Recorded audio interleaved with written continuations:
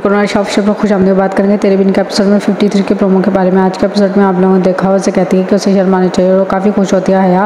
वहीं पे को काफ़ी परेशान होती है और उनकी बातें सुनती है जब वो कहते हैं कि उसको इसकी फ़िक्र है वहीं वो फ़ारूक से कहती है और फ़ारूक जब आता है तो वहाँ पर मुझसे उसे मुलाकात होती है और उसे काफ़ी कुछ कुछ करता है वहीं वो कहती है कि अगर वो नहीं इससे मिलना चाहती उसे नहीं मिलेगी हया हाँ, से कहती है तुम्हें क्या ज़रूरत है इस तरह करने की और काफ़ी परेशान होता है आने वाले एपिसोड में हम देखेंगे अपनी माँ से कहता है अगर मैं आपके कहने पर उससे शादी कर सकता हूँ मैं उसे छोड़ नहीं सकता लेकिन इस गद्दी को ज़रूर छोड़ सकता है वहीं वो हया को भी वार्निंग देता है कि मेरे कमरे से दूर रहो वहीं वो फारूक के घर पहुँच जाता है